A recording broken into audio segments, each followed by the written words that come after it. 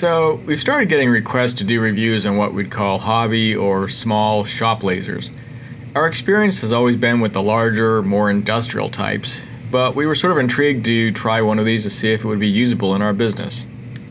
We finally accepted an offer from a company called Creality to try out and review their 22 watt diode laser. Honestly, when we saw that it had an air assist feature, that's what finally changed our minds about trying one of these. As you can see, their system is nicely packaged with foam surrounding every part. The laser also includes what they're calling a built-in triple monitoring system.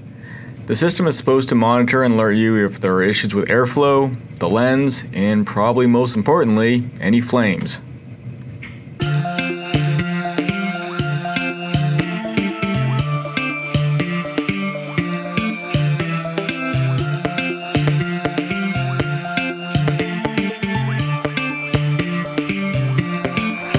Here's all the parts and accessories that came with the system.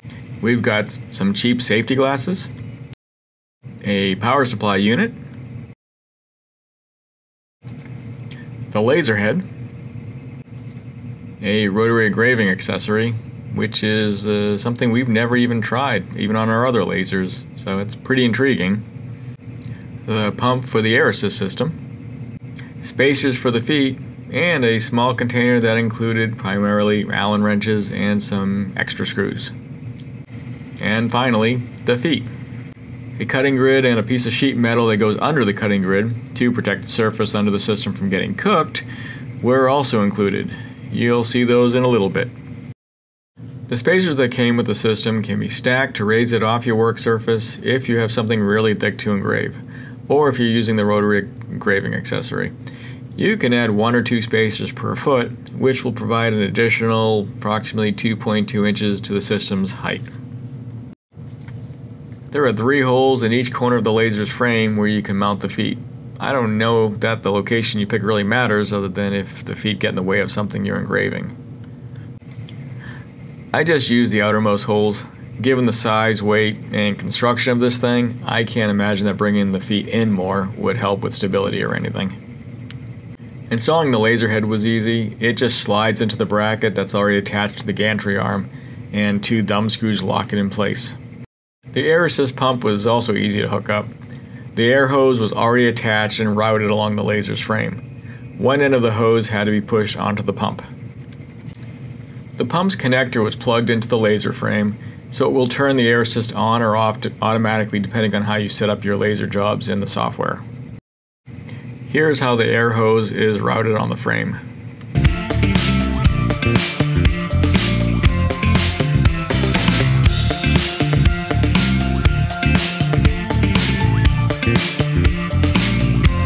The other end of the tube just needed to be slid out of the clamps and attached to the laser head.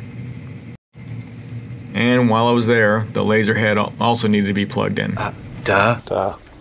The air hose and wiring for the laser head were cleaned up a bit with the included Velcro straps. Here's the piece of sheet metal I mentioned. I actually was wondering if they would include something like this for when you're cutting all the way through material. I was afraid we'd have to go buy something ourselves to protect our table. But nope, it's included. And of course, they included the honeycomb cutting table, which sits right on top of that piece of sheet metal. The power supply was plugged in, the laser is supposed to have the ability to run a job off a flash drive, but I plugged in the USB cable so that I could connect it to one of our computers. I guess it's a safety feature, but I'll never understand why all lasers seem to have these key switches. If you have little kids or morons around, then you can always just unplug the laser. I also don't see power tools with these key switches, but whatever.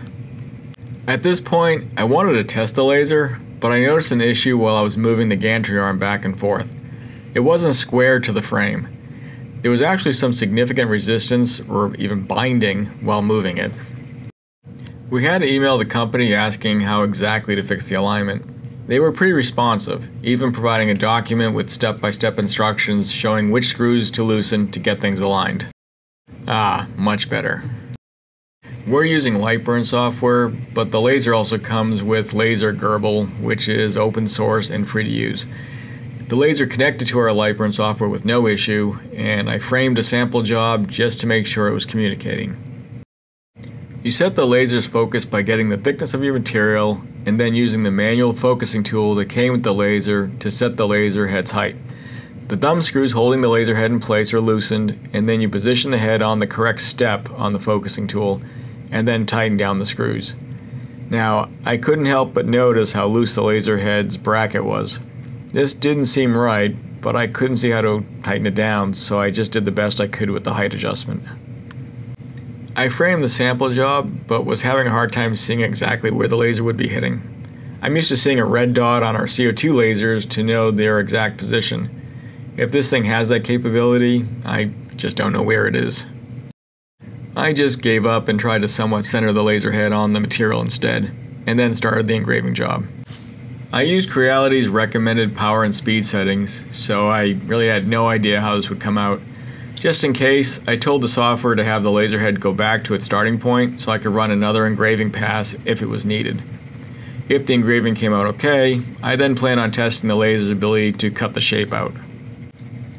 At some point during the engraving, I hooked up a cheap little exhaust fan as there was a little smoke being generated during the engraving.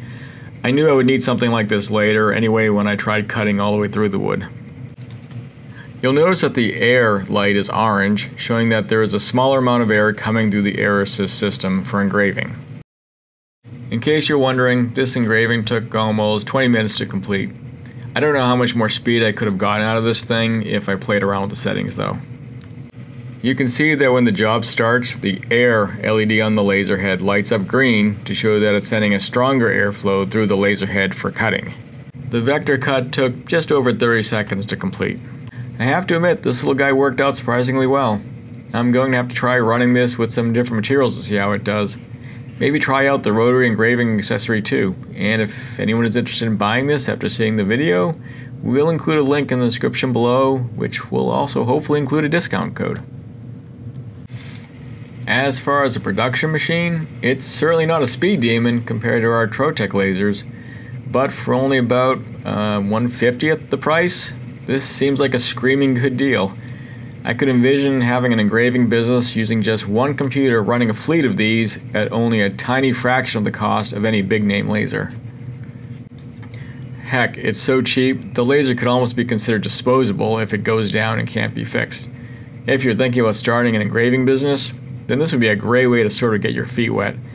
If your sales increased and you found yourself needing more capacity, it would be super easy to scale up with additional machines given the small footprint and low price.